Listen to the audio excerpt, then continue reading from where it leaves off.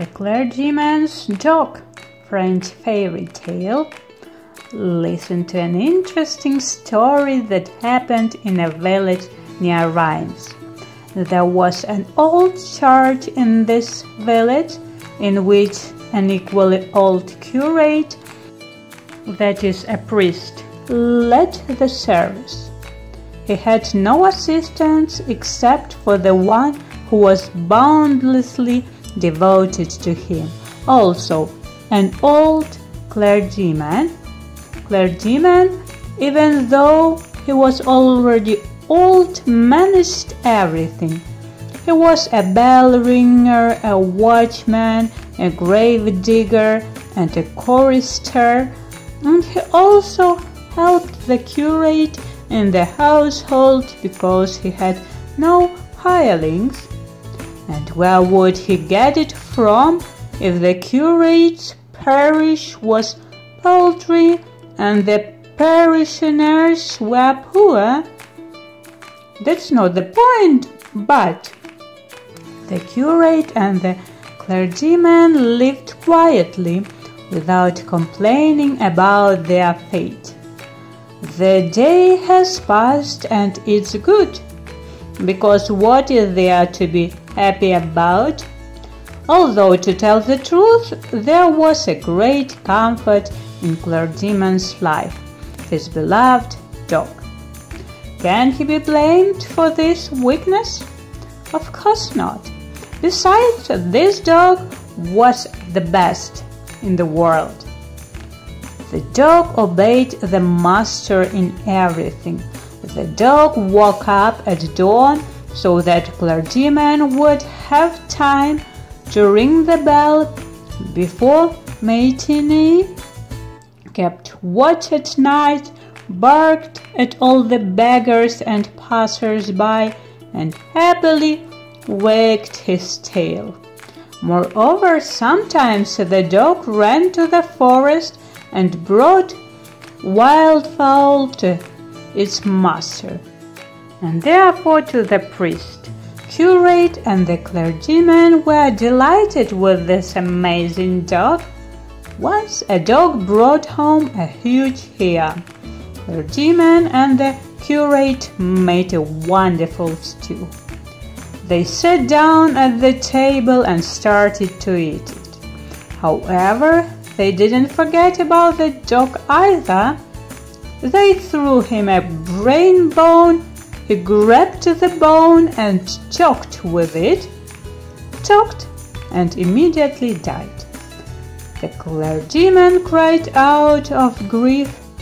He tore his hair, banged his head against the wall.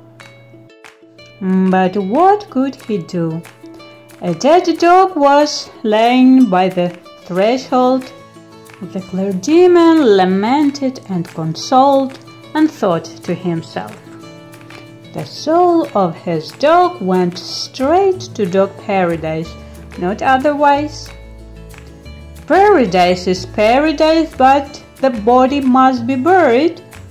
Where to bury him? After all, it was not an ordinary dog, but the best of all.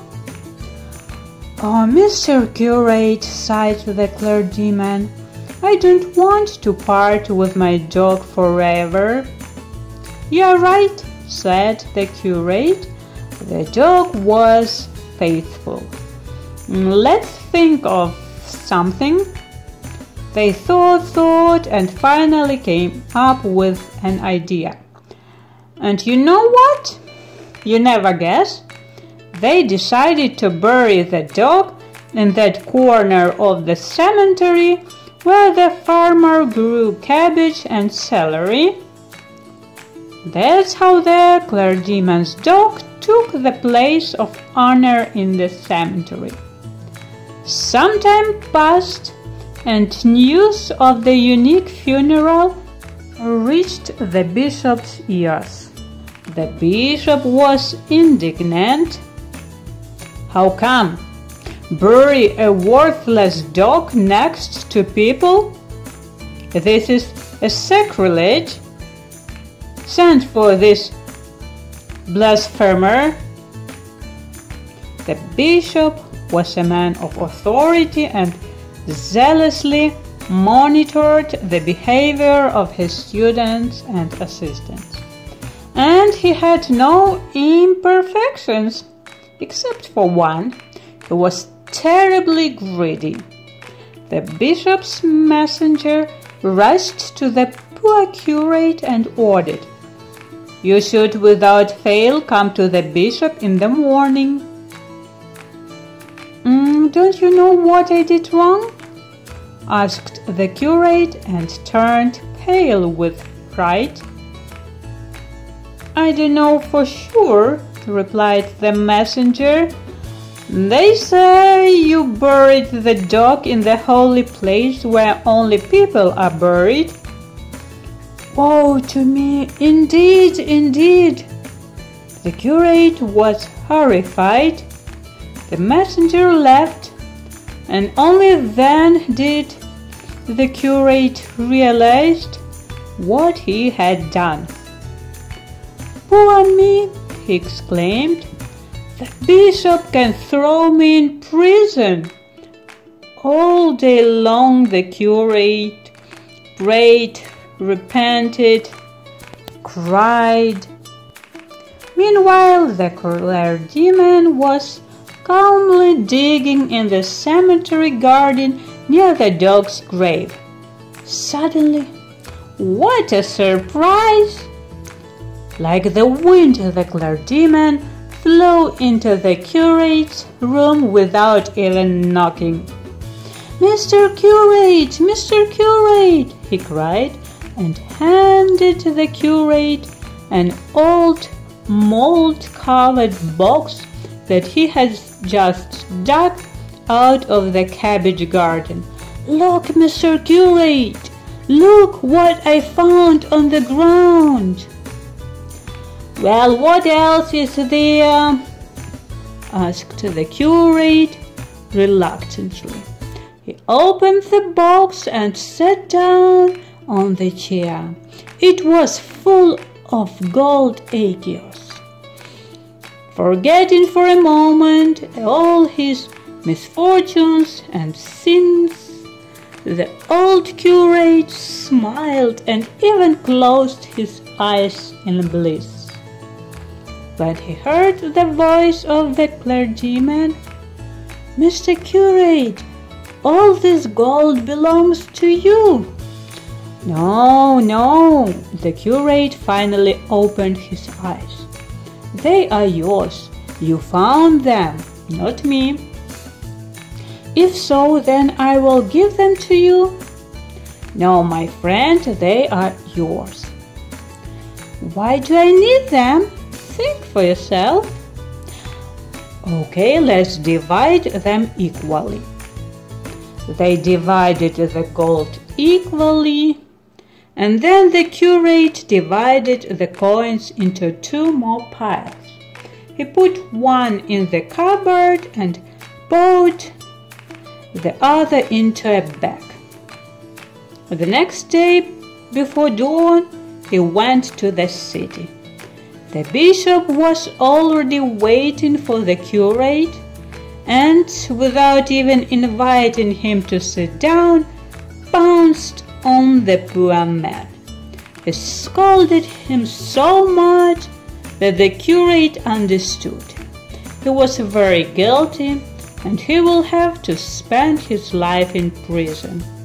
However, our curate didn't forget about the vulnerable spot of the bishop, his greed. And so he humbly said, Mr. Bishop, I am guilty. I have done a terrible thing, but but forgive me, a sinner. After all, this dog was the best among dogs and I believed that there would be no great sin if I buried him in the holy ground. Oh, Mr. Bishop, if you knew him, you would definitely love him and say, No, you cannot hide this dog anywhere. Why is that? The bishop was surprised. Because the dog made a will before his death. What a nonsense! The bishop got angry again. This is not a nonsense, Mr. Bishop, but the sincere truth. Make up your own mind. He bequeathed you 100 gold écus. Here they are. And the curate poured out a hundred shiny golden écus from the bag. Hmm, the bishop said thoughtfully. Then turning to the curate, he graciously said, I guess you're right. It was such a smart dog. Well, let him lie where he is buried. This is how an amazing story of the dog who bequeathed the bishop 100 gold écus ended. To tell the truth, I was also looking for such a dog, but I never found one.